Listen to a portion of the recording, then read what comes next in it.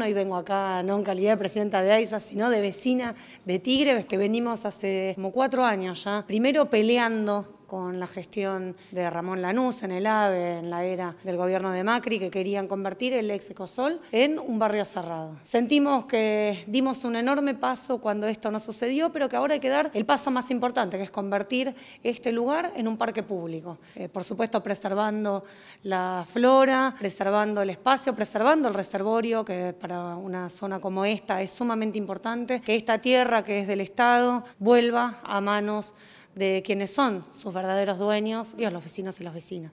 Fue una gran reunión, pudimos intercambiar ideas, experiencias, contarles nosotros de dónde venimos, hacia dónde queremos ir y coincidir en la necesidad de que existan más parques urbanos, más espacios públicos de calidad para las y los vecinos de la provincia de Buenos Aires y de todo el país.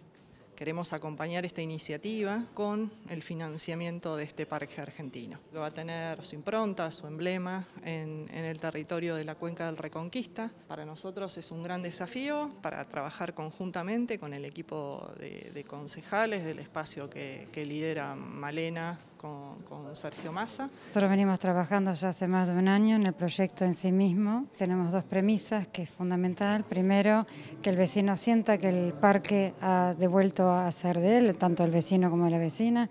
Preservar su condición de acuífero natural. El proyecto va a mejorar la calidad de vida de los vecinos circundantes. Y después va a haber una renovación urbana. Y lo que en realidad nos va a quedar es un pulmón verde. Estamos muy entusiasmados con este proyecto porque justamente es lo que venimos peleando desde hace años junto a Sergio Massa y a Malena Galmarini, poder recuperar lo que es Ecosol para los y las vecinas de Tigre. Pensemos que el anterior gobierno quería hacer de esto un inmobiliario y hoy lo que estamos debatiendo justamente es poder integrarlo al espacio urbano para que los vecinos puedan entrar, pero también cuidando el medio ambiente, cuidando lo histórico y cuidando por sobre todo las instituciones.